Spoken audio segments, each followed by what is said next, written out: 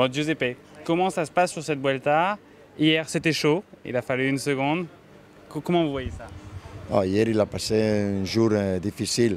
C'est une montée que c'est très dur pour lui et c'est avantage de, scatista, comme il s'appelle en italien, de, Purito. Je pense qu'aujourd'hui, c'est une autre étape très très dure. Euh, J'espère qu'il a trouvé euh, une bonne condition pour, faire- pour, faire- pour gagner encore la Vuelta, c'est sûr. Justement, comment vous le trouvez, Fabio? C'est la première fois qu'il a la responsabilité d'un maillot de leader sur les épaules. Il avait eu une journée sur, sur le Giro. Mais là, c'est différent. Là, il, est- il a vraiment à le mener jusqu'au bout. Comment le trouvez-vous dans ce rôle? Moi, c'est encore un peu jeune. Je pense qu'il a équivoqué un peu hier et le jour, ap- le jour avant. Mais je, je pense qu'aujourd'hui, il a, il a compris bien la situation. Il a des, des grands coureurs qui sont à côté de lui, comme Léon Sanchez, comme Cataldo et tout. Et je pense qu'il reste plus tranquille. Il a besoin de rester plus tranquille à l'arrivée. le, le Giro qu'il a vécu cette année, ça l'a fait vraiment mûrir. Parce que je trouve, on le sent quand même, il reste très calme. Il, il perd- il a le maillot pour une seconde, mais il reste très calme, très serein. Mais J'espère et je, je pense qu'aujourd'hui c'est c'est plus facile pour lui. Il a beaucoup de montées, il a- c'est plus facile de, contrôler la situation.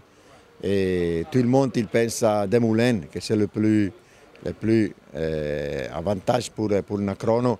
Mais je, je, il a- aujourd'hui, il a parlé avec lui dans le briefing qu'il y a Maika, que c'est le plus fort ce moment. Je, je pense, euh, et Demoulin, c'est sûr que c'est le plus difficile de, de combattre. Mais il y a de l'autre coureur pour, pour, pour gagner la Vuelta. Il y a de l'autre coureur qu'il a besoin de regarder pour gagner la Vuelta. Justement, Purito est à une seconde. Vous n'en avez pas parlé précisément. Vous, il n'a jamais gagné un grand tour, c'est vrai. Vous pensez que c'est possible pour lui cette année ou Ah, c'est possible, c'est possible. Il a, il a un chrono difficile pour lui. et je, je pense qu'aujourd'hui, il prouve à, à prendre le maillot de leader. C'est sûr qu'il prouve et c'est possible qu'il prenne. Mais je pense que pour Ito, tout le monde il sait que c'est très fort. Il n'a pas gagné encore le grand tour et oh, c'est possible cette année. Pour vous, c'est quoi le plus gros danger pour Fabio? C'est c'est Maika, Purito et Demoulin. Il y a encore quatre coureurs pour gagner la Vuelta. Mais au niveau des étapes, ce sera les étapes de montagne, les hautes montagnes. Il y a des étapes en troisième semaine qui ne sont pas extrêmement dures, mais où il peut se passer des choses. Il y a le vous voyez. Moi, je pense qu'après la chrono, il sait déjà qui, qui va gagner la Vuelta. Je pense qu'après, il contrôle, il contrôle bien. Il a encore des étapes pour, pour des moulins, il a encore des étapes pour, pour des- d'échapper, mais je pense qu'après la Vuelta, c'est définitif la Vuelta. Après la, la chrono. Après la, après la chrono, c'est défini la Vuelta.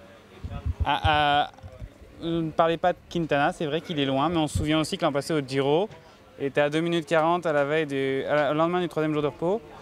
Et finalement, il avait fait un coup extraordinaire. C'est impossible, ça, Aujourd'hui, je pense que c'est impossible parce qu'il a passé des des mal. Il a prouvé hier à, à faire la course et ne l'a pas trouvé de grandes, de grandes jambes.